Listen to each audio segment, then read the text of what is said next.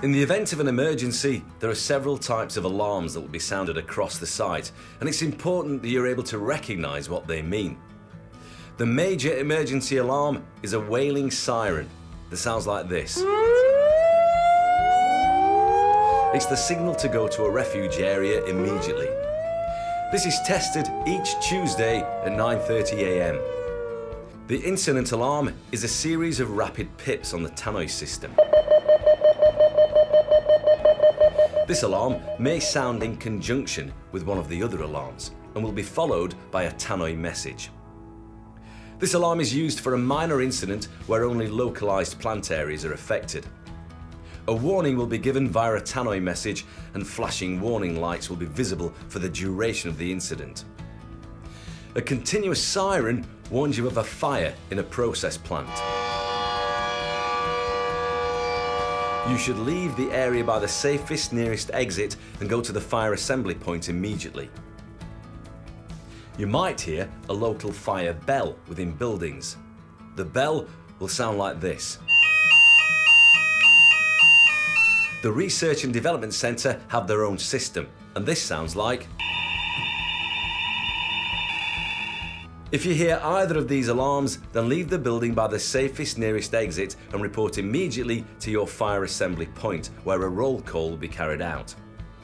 Familiarise yourself with the blue procedure notices in your area, which tell you where your nearest fire assembly point is situated. Different alarms are used to signify different situations. If you hear the major emergency alarm, Go immediately to the nearest refuge area, observing the wind direction. Remember, it's safer to go across wind rather than downwind, so take note of the wind socks. Ensure you have your respirator with you. Alternatively, if you don't, there are stocks held at each refuge area. Once you arrive at the refuge area, register your card at the reader. If you have any difficulty, report to the marshal, who'll be wearing an orange vest. If there's no one at the refuge area location, follow the instructions located in the refuge area. Take a look at your induction booklet to familiarise yourself with the location of all refuge areas, especially in the area where you're going to be working. There are signs like these at each refuge area location. These will be illuminated during the hours of darkness. In the event of a fire, there are some basic rules to remember. On hearing the local fire alarm for your area, stop what you're doing and evacuate by the nearest safe exit. If there's time and no immediate danger, shut any open doors or windows. You then need to report to your nearest fire assembly point.